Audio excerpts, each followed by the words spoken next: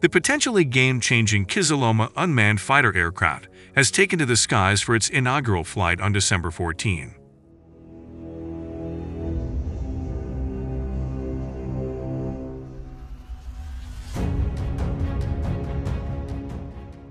On Wednesday, Turkish-based Baykar company released footage from the successful first test flight for the highly ambitious Kizilelma drone.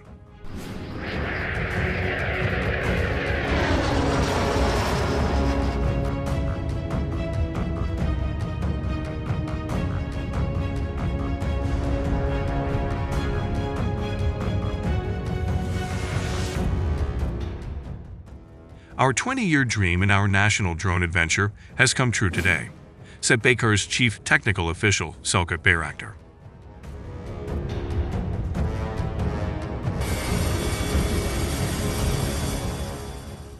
Powered by a single Ukrainian-designed Ivchenko Progress turbofan engine, the Kizilelma is planned to have a 1,500 kilogram payload capacity. It will be capable of conducting air-to-ground and air-to-air missions,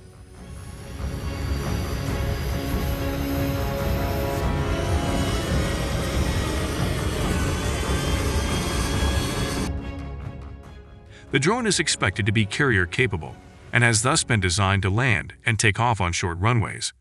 It should eventually operate from the TCG Anadolu amphibious assault ship, which is currently conducting cruise tests.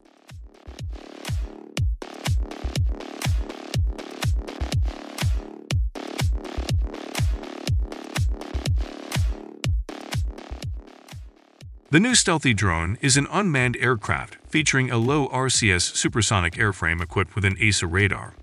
The aircraft is powered by a turbofan engine fed by two air inlets. Yaw control is achieved with two vertical stabilizers.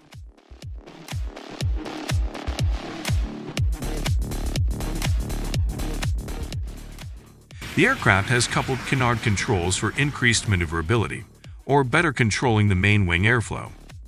Internal compartments will allow the aircraft to operate in contested environments while sustaining low observability.